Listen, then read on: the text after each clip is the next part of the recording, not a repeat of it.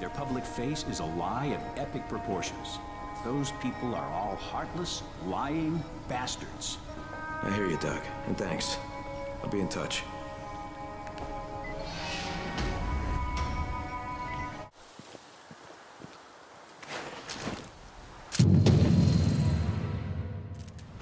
Look, Avas has been dethroned. Seems like that bastard Vasilis got impatient to take the reins.